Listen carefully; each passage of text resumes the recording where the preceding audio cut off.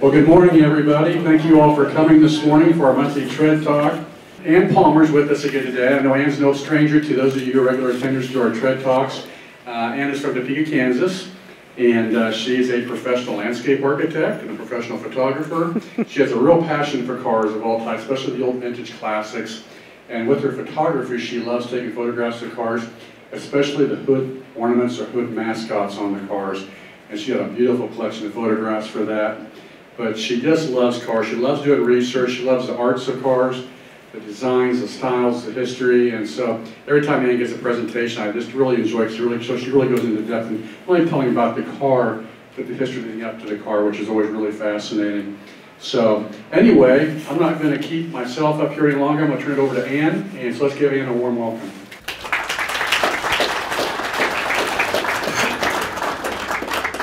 I'll try to remember to keep this close to my mouth. I have such a loud voice, sometimes I think I don't need it, but I do.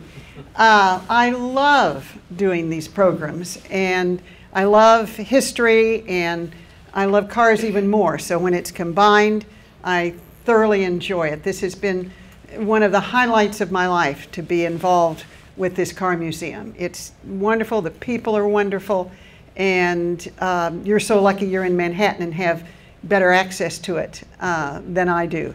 We are starting with the 53 Chevrolet Corvette, which is right here. And I am not a uh, professional PowerPoint person, but my neighbor, who has been my Photoshop guru for many years, is a graphic designer. And so he did the cover slide, excuse me, for me. And I was talking to Judy, and I hadn't really picked up on it, but this really is the dashboard of that car. So I took a picture and, and sent it to him this morning to say, gee, you know, I'd like to say we planned it for months, but it was accidental, but it's kind of cool. Um, so uh, I'm looking at the audience, and some of you are, um, I'm sure all of you are younger than me, but, but some fairly close. And um, I remember, uh, not vividly, but I remember when the Corvette was introduced. So I wasn't old enough to really understand the scene at the time. So I want to take you back and remind you that Detroit ceased car production uh, February the 9th of 1942 because of the war and converted to making tanks and, and other kinds of, of war material equipment. Most, some resumed in 46 through 48, but really Ford didn't come out with a brand new model till 49, and some of the other manufacturers did not either because of uh, not being able to get a, the, the things they needed. And um, so there were no big Motorama car shows from 1941 to 1953. So the, that's the sort of background that we're, we're looking at when America builds the sports car. I found this four years ago when, when I talked about Corvettes, but it's, I, I think it's excellent it said Chevrolet was not really well placed to make a sports car. They had about as good a placement as Caterpillar tractor would have had.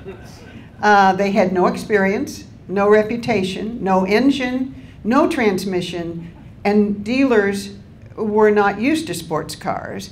And Chevrolet was uncertain whether there was even a market in middle America for a sports car. So, what did Chevrolet have? They had dealers. They had dealers everywhere, in most even small towns. They had first class uh, tech and research facilities. They had excellent manufacturing and a well known brand. They also invested in designers, engineers, and stylists. So they, with all of that, started out and made the most popular and successful two-seater sports car ever built. And I'll tell you what they did have. They had Harley Earl. And I don't know how many of you were here June 2nd when I talked about Harley Earl, but I have to laugh. My husband came to that one. I said he didn't have to, but he, he came. And he is, he is not, we'll leave it that he is not a car person. So afterwards he said, Oh my gosh, Ann, he said, those people really liked that talk. I mean, they just, you know, were really listening to the subject. And then he said, You know, I think that's a subject for just real serious car people. so I've always thought if you mention Harley Earl's name and somebody responds, you know you're talking to a serious car person. Um, probably the smartest thing that General Motors ever did was hire Harley Earl in 1923. Uh, at that time, the idea of design and style was foreign to cars and it just wasn't popular. And uh, by the time 1953, or actually 1951, came along, Harley Earl was probably the most powerful force in General Motors. And I'll tell you why as, as we go on. But that also made a huge difference, not just in the initial building of the Corvette, but saving it because much of this material you Corvette people are going to know a long time before I knew it. But I did not realize that the Corvette did not make money until 1961. And Harley Earl and his power within GM is what kept the brand going. So, this is in the center a I think it's about probably a 54 uh, because in 54 they came out with different colors. It may be a 55. I don't think there was a yellow in, in 54 and certainly not in 53. And then the lower picture of the, of the person is a picture of, of Harley Earl. In 1951, Harley Earl uh, went to Watkins Glen, and I'm sure all of you are familiar with Watkins Glen. Uh, it's on the Finger Lakes, one of the Finger Lakes in upstate New York. Its present population is about 1,800, so I'm not sure it was any, any bigger then, but famous for its racing track. And um, so he went to see a sports car race, was being entertained, and stayed at the family of the Chevrolet dealer in Watkins Glen. And he noticed that there were a lot of college boys there who had come to see the race. And that they were driving, it's the 49 Jaguar that Harley Earl really took the idea for the Corvette from. And a Cunningham, which I was not familiar with, but a Cunningham won the race that day in Watkins Glen. And this is another picture of the, of the Jaguar. And so he thought that um, there was a need to build a sports car and that Chevrolet should build a sports car.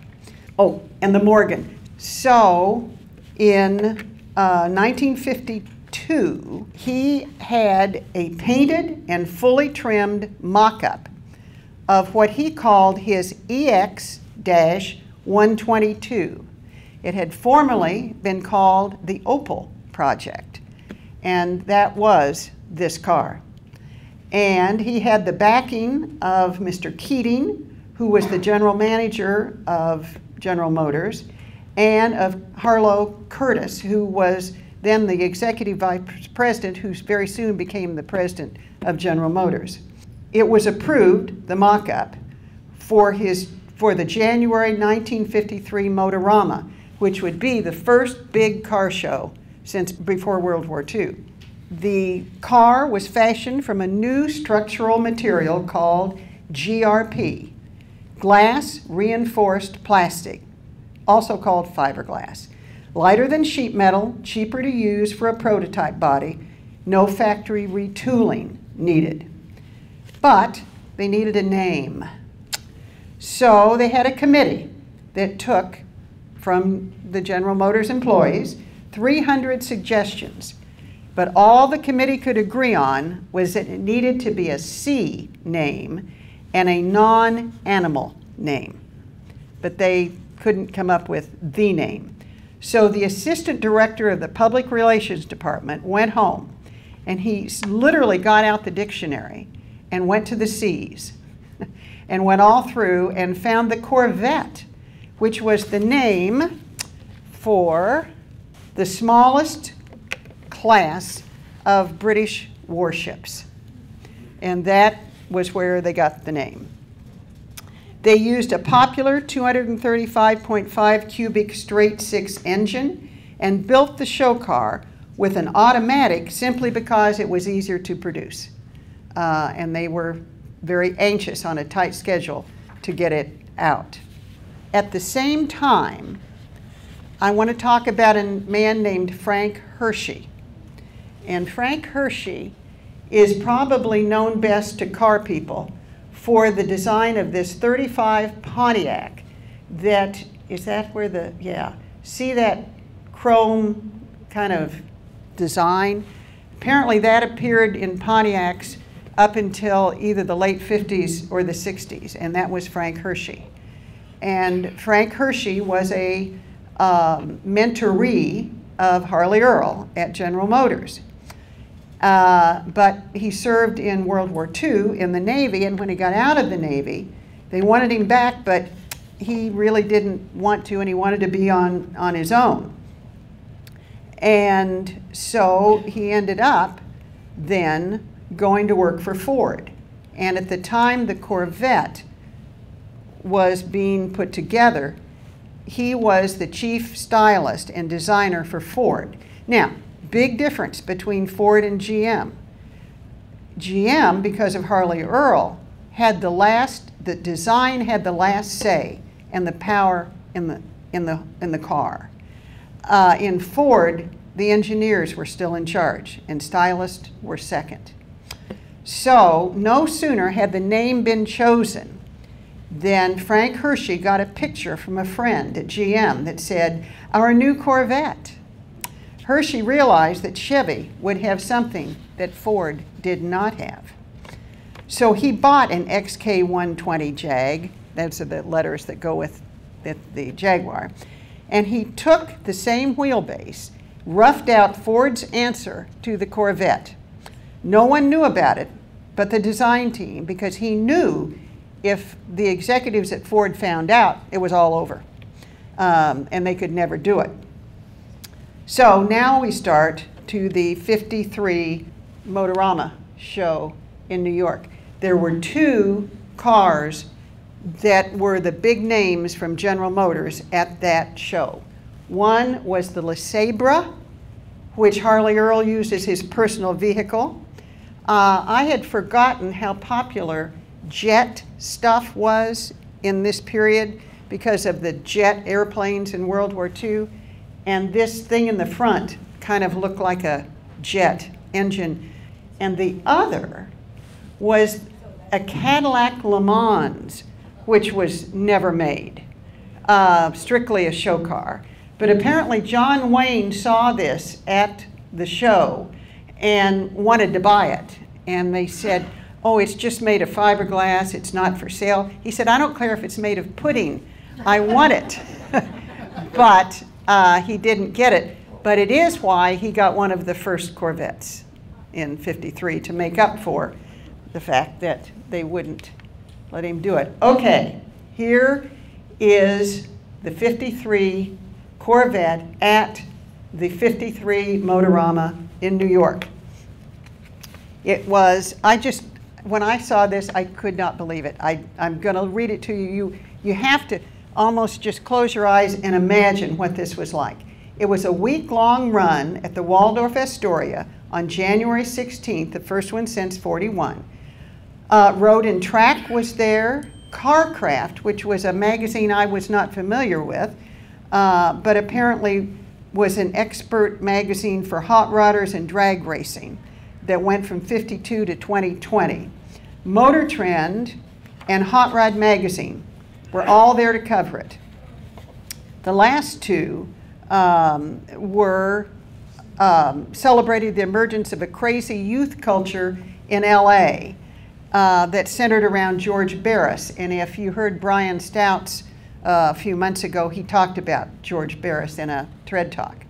So in the ballroom at the Waldorf Astoria were 38 cars, all General Motors, some of them these show cars, a full orchestra, a 14 voice chorale group, a bow, this is my favorite, a ballet troupe of 24 dancers doing the story of engineering progress from the discovery of fire and the invention of the wheel to the present time. I, I can't even begin to imagine what, what that must have been like. Uh, there were models in opera gloves and evening gowns by name designers like Christian Dior, in gowns matching the colors of the cars they caressed. Now, all of this, and you can't imagine how many trucks and semis it must have taken, went on a five city tour. Uh, they went um, for three months to these five cities Miami, Kansas City, Dallas, San Francisco, and Los Angeles. The New York show had 50,000 viewers the first day. The LeSabre, you remember with the jet engine on the front, was a hit. Um, they had, they knew this was Harley Earl's touch. Had pink leather bucket seats and two French poodles sitting in them. One dyed pink and one dyed blue until the ASPCA in New York in 1953 heard about it and they had to not use the dyed poodles. But the least flashy car got the most buzz, which was this 53 Corvette. And I, I just love that it's right here and, and right there. Um, it was plain white, red leather seats, manually operated black canvas top, minimal chrome ornamentation, which I think you'd have to agree. Uh, no outside door handles, and I did not realize that until I started studying this. I mean, I've looked at that car 150 times and didn't realize that it didn't have a door handle. You have to reach inside. Apparently, that was a, a thing from European sports cars. Uh, no wind up windows, also like European sports cars. It came with canvas and plexiglass side curtains stored in the trunk and snapped into place in case of inclement weather. That was part of why they found out the American public didn't want that authentic, a European sports car. It was 47 inches at the top, wraparound windshield, which at that time would have been pretty low. And it weighed less than 2,900 pounds. Rounded fenders, front and back, recessed headlights with the mini grills over them. But the most striking feature was the low horizontal grille that framed a set of 13 gleaming teeth, formed a face that was a first for a sports car and an instant classic. The second day of the show, Harlow Curtice, the executive vice president, announced they would begin production in June. They would continue to use the fiberglass body and they would prepare for a production for 10,000 cars a year. Anybody want to guess when they finally sold 10,000 Corvettes? Total? In 61. In 61, the year that they started to break even. That's a long time when he thought they were setting it up for 10,000 that first year. One of the important things this was uh, Harlow Curtice. He was on board, and he was the new president. Ed Cole was the chief engineer, and he was on board. And a man named T.H. Keating, he was on board. And Alfred Sloan, who was the chairman of the board. All of those people in 1953, at the time of the Motorama, were on board with the car. And that comes in a distinct difference between Ford and GM. And they were all on board because Harley Earl wanted it. Um, one aside that I mentioned in my June 2nd talk about Harley Earl, Alfred Sloan uh, was a longtime GM executive, as was his friend Keating, I mean um, Kettering, who was um, chairman of research. And I thought, Sloan, Kettering, hmm. And indeed, they took their money uh, that they had made at General Motors and founded the Sloan Kettering Cancer Institute in New York City, which is still probably the most premier uh, cancer treatment place in the United States. And I, I'm, this is probably not a nice thing to say, but I don't think there are many business executives in the country today that have that kind of civic responsibility that Sloan and Kettering had then. Um, anyway, uh, Ford, and I can't believe this, but it, you know, I found it sources. Ford sent a team of engineers to the Waldorf to check out this new sensation, and they let them crawl all over it because they were measuring every single bit of the car. I, you know, no, no, uh, no covert, covert operation there. It was um, uh, pretty, pretty upfront. Uh, Frank Hershey had kept the secret, but the chief Ford engineer found out that Ford had been working on a sports car, and he was livid. Um, the sports car market at that time for the United States was small, about 12,000 units a year, and Ford figured finally they had to answer. So Ford had an edge on Chevy among hot rodders, custom car enthusiasts who, prefer, who preferred uh, flathead V8s, and they couldn't cede that territory to Chevy. I will tell you that my deep interest in cars extends only to the outside. So when I read things like flat uh, head V8, I'm sure you know, but I don't know what that is. uh, but it, it helped um, Ford executives to realize they couldn't just cede all that territory to, to uh, Chevrolet. So the race was on between Hershey, the tortoise, and Earl, the hare, who was already ahead. So Ford reluctantly gave Hershey and his design team the right to pursue a sports car and this was in January, but they said May 1st. We have to have a model by May 1st. Well, he clashed, Hershey, with the superiors on the type of car. This, I think, is a wonderful example of Ford at this time.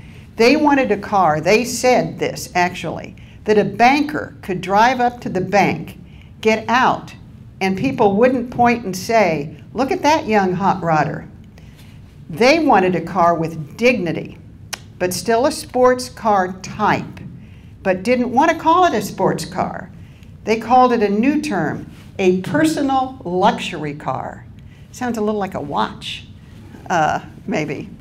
Uh, or they would accept a sportsman or a sports liner, which reminds me of a Peterbilt truck. So, anyway, um, Ford offered the winner of a contest to name the car a $250 Brooks Brothers suit. Now, there are two interesting things. It was clear, and it, of course, was clear, there were no women involved in design in cars at that time who would not have been interested in a $280 Brooks Brothers suit, 250. I checked it out. That would be a $2,800 suit today, which again, I would doubt that there were many car executives today who don't wear $10,000 suits. But this was apparently uh, something that people really jumped to. There were 5,000 submissions to name the car. Um, some of the possibilities, I got a kick out of this. The runabout, the El Tigre, which I'm not sure what that is, the Coronado, the Detroiter, the Hepcat. Wouldn't that have been funny?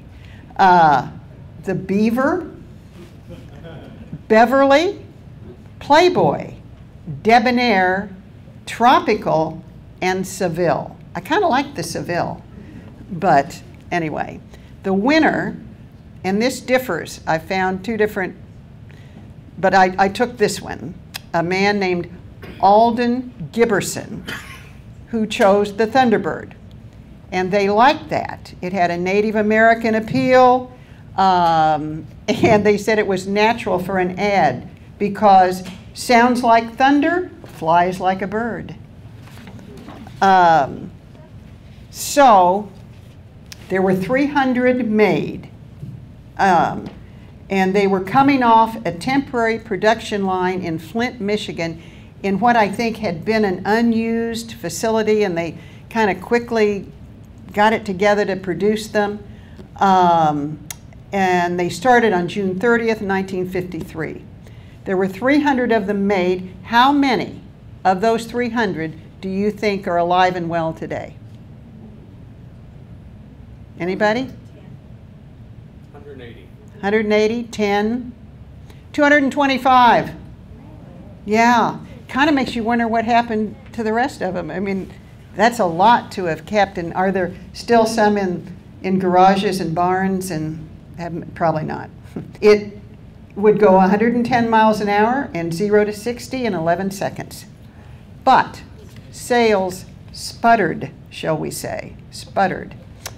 Um, in a bad attempt to create an exclusive image for the car, the division managers at GM limited the availability of this first run of 300 to VIP customers, GM executives, business leaders, politicians, celebrities. And so while a million people saw the Corvette at the Motorama shows across the country, only 180 could purchase them by the end of the year. So after this huge introduction in 53, there were only 108, 100 and, what did I say, 180 sold. So they moved briefly the manufacturing to St. Louis, uh, but they were still stuck with a lot of cars. And um, then, of course, they all came out of Kentucky, uh, Bowling Green, after that. Um, but Harley Earl had designed the Corvette for young people, a rambunctious, rebellious car.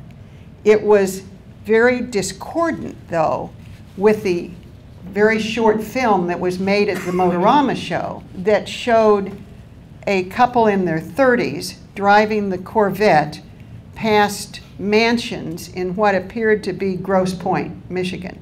Scarcely the market that Harley Earl had thought it would be, and uh, it turns out that that couple cared more about door handles and roll up windows than sports car authenticity.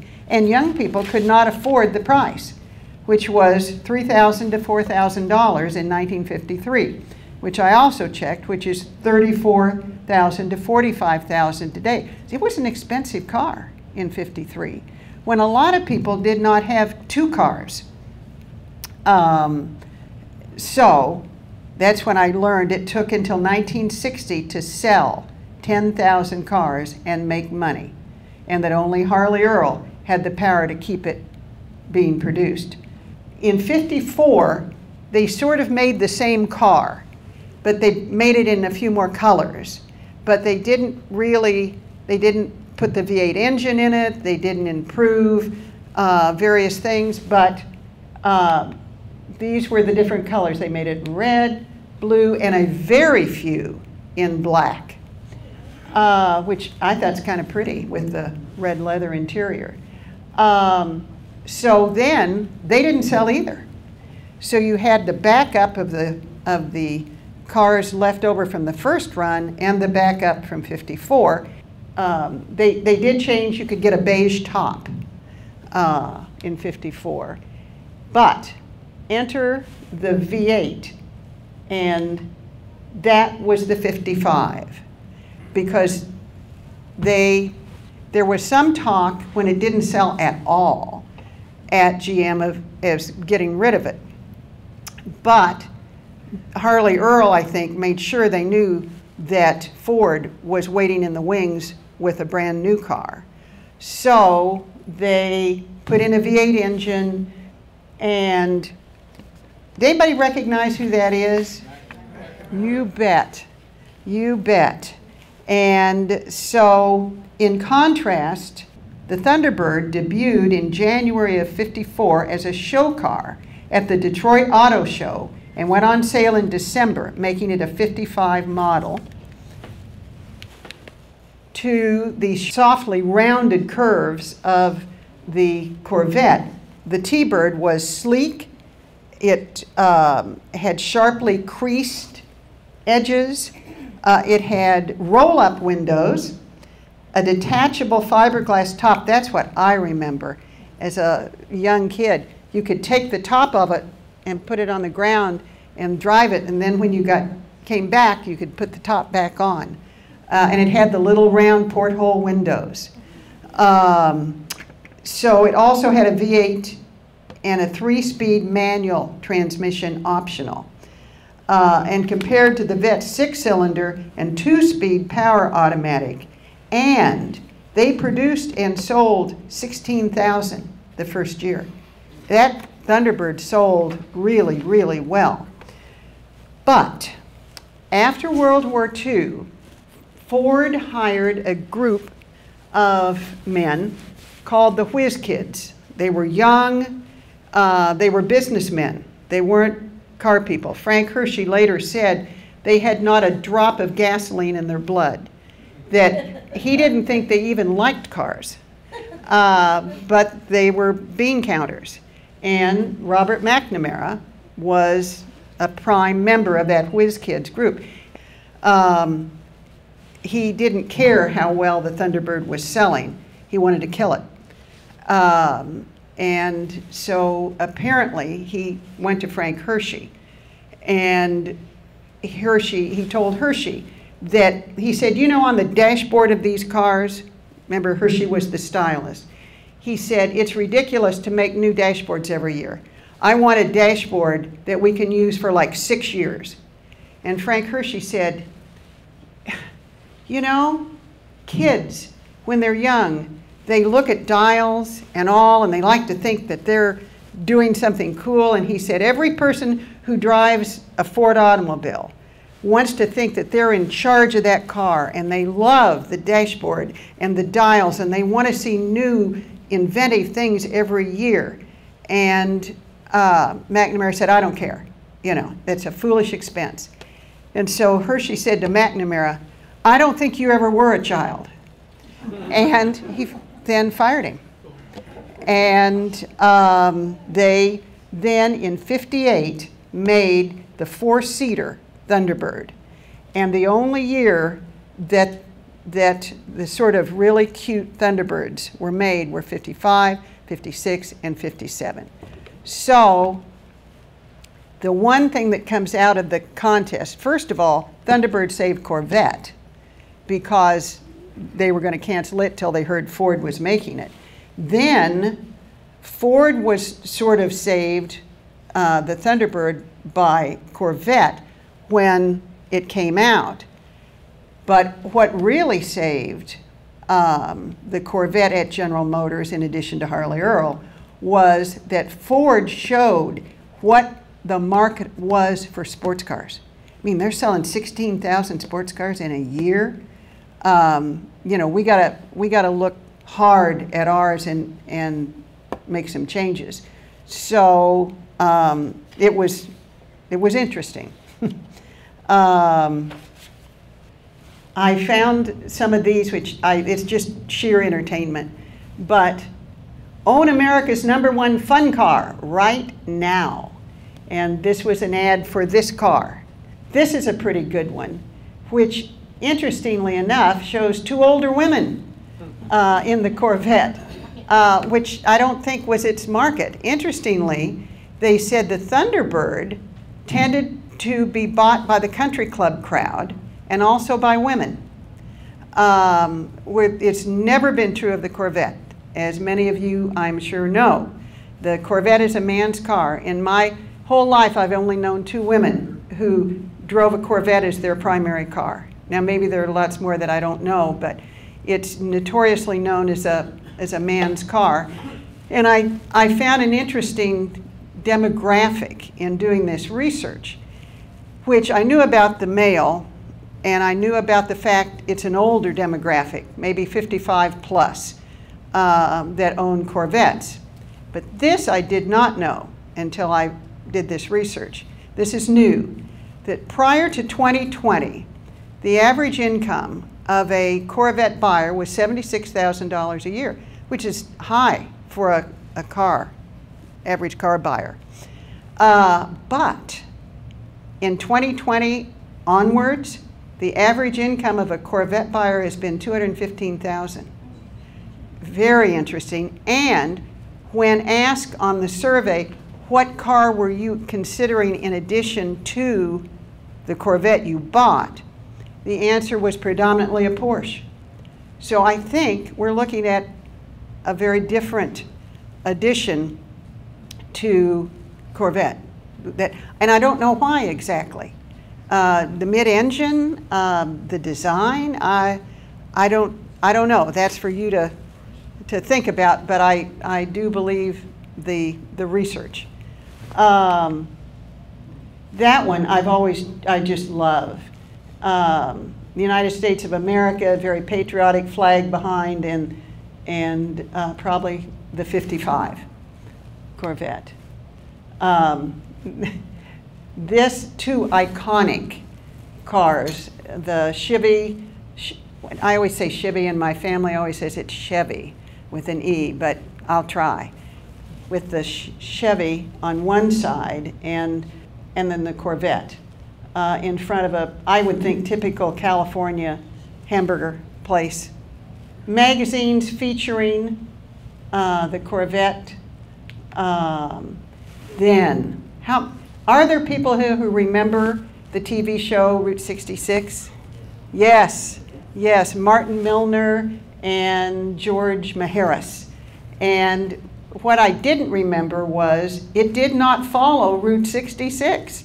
They just sort of did random cities, a different city every show, but it, it had very little to do with Route 66, but it had a lot to do with Corvettes. And I think the coolness factor of a Corvette.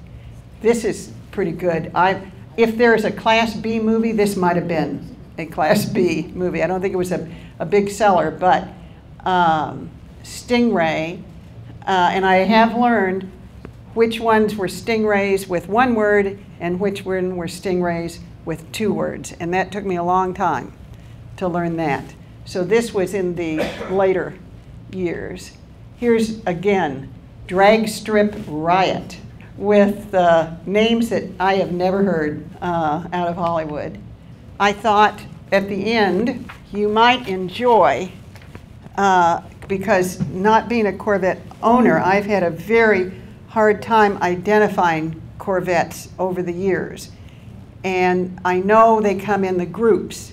So I took the first year of each group and got a picture as a kind of final closing as to what came from this car. This was C1, um, 53 to 62. Second generation C2, 63 to 67, uh, and we have one out here. Third generation, 68 to 82, which was 14 years, which I think is incredible.